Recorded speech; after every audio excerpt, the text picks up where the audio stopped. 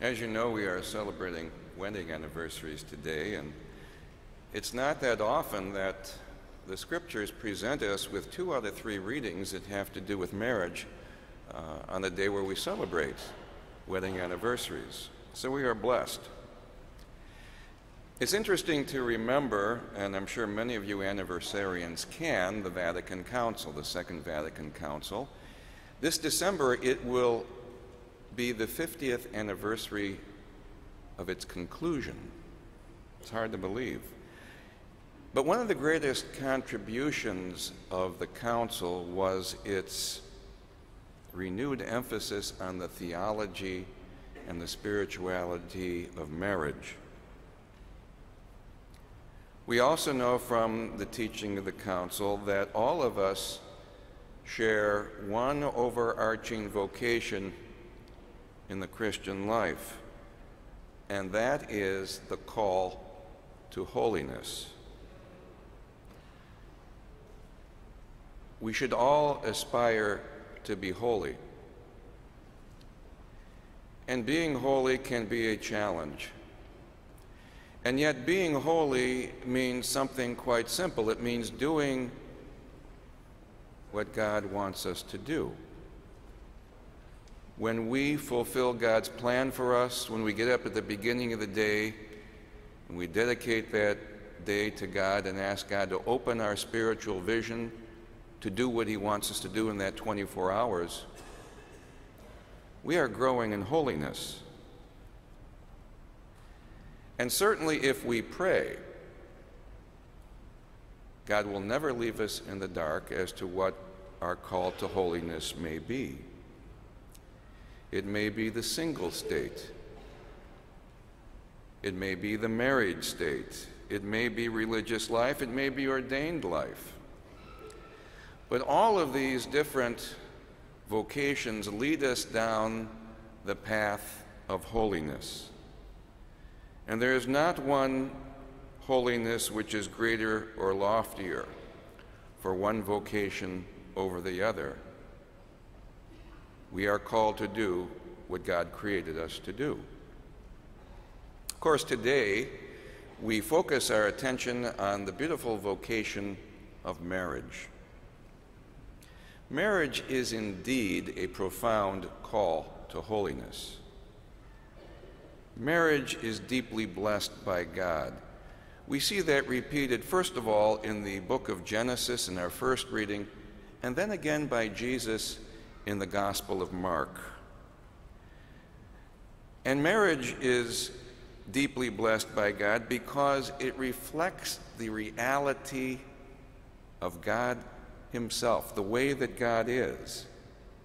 Because God is a community of love. The bonds of love between the three persons of the Trinity Father, Son, and Holy Spirit and of course, we know that married life is a community of love.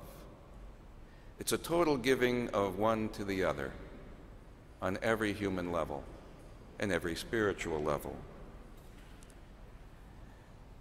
Our first reading from the book of Genesis takes us back to the beginning. And you know, we have two accounts of creation in the book of Genesis. We have the one account that goes through the six days and God resting on the seventh. And of course, uh, man is the last thing that God created in that account. Today's account, man is the first thing that God created because he is the one who's going to name the animals.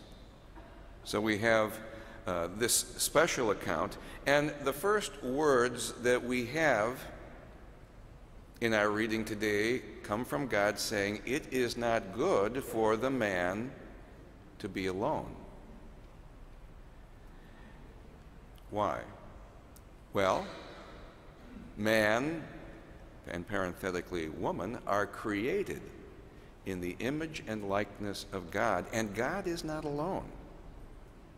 There are three persons in one God Father, Son, and Spirit and they each experience a bond of love between them. So if we are made in God's image and likeness, it is not good for us to be alone either. And the other thing that comes to mind, and besides God not being alone, is the very nature itself, which John the Evangelist tells us over and over and over again, is that God is love.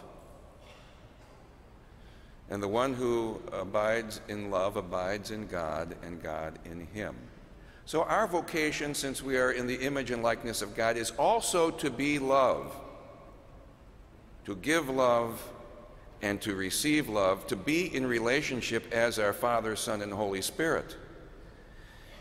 And so we can see that we are meant to love and be loved and to be in a loving relationship with others.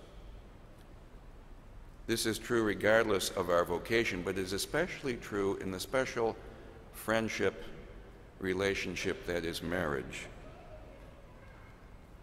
Adam needed someone to whom he could relate in love.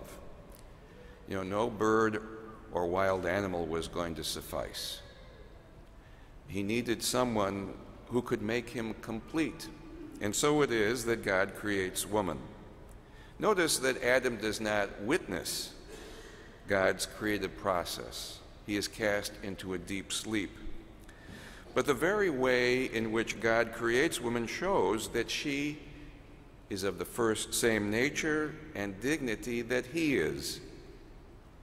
That she is equal to man in the very basics of humanity. And in Eve, in Eve, when God brings Eve to Adam, he encounters another self. And we see this expressed in his joyous exclamation At last! Here is one that is bone of my bone and flesh of my flesh. And thus, man and woman come together in marriage. And in so doing, they mirror the reality that is God, God's very way of being. Because God is a community of persons, and those who are married form a community of persons, a community of love. Marriage then is brought about by God as part of God's plan for the human race. This is the message of the book of Genesis and also our passage from the Gospel of Mark. Now, in the Gospel, the religious leaders ask Jesus about divorce. What does Jesus say? The first thing he does is repeat the beautiful truth about marriage that we heard proclaimed in our first reading. A man shall leave his father and mother and cling to his wife, and the two shall become one flesh. This is God's divine plan for the human family. But then Jesus, not only does he restate that teaching, but he adds a very strong teaching to it. He goes on to say, What God has joined together, no one must separate. Now we know there may arise circumstances in which the two should no longer live together. But because of man and woman's likeness to God and vocation to love in following God's plan for them, they cannot simply undo the relationship that they have entered into with God as a partner. A relationship which is meant to point to the reality of God's own being as a communion of persons bound together in faithful love. My brothers and sisters, there is one universal call to holiness. There are different ways for us to follow that call with God's grace and the guidance of the Spirit. Today, we are given an opportunity to affirm one of these paths, the great vocation of marriage, as we affirm what God teaches us about this part of His divine plan for us. Marriage is a great call to holiness. Marriage is profoundly blessed by God. It is part of His divine plan. And it reflects the way that God is a community of persons bound together by love. Now, to those of you who have come here today to celebrate special anniversaries, or to reaffirm the great gift of your marriage, even if it is an off year, so to speak, uh, remember these beautiful truths about your vocation. Because your vocation is based upon God who is love and who lives as a loving communion of Father, Son, and Holy Spirit.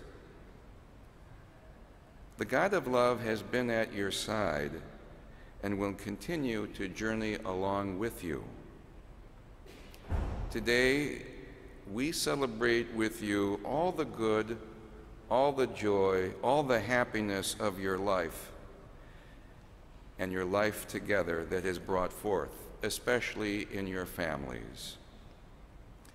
And we salute you for your constancy, your fidelity, your resiliency, and your courage when challenges have arisen over the years in the course of your life together. We honor all the married couples who are here today. You are a powerful witness to the Creator's wisdom in making us male and female and in giving us the vocation of marriage, such a beautiful call to holiness. May God bless you with growing love and mutual respect, and good health, happiness, and peace in the days ahead.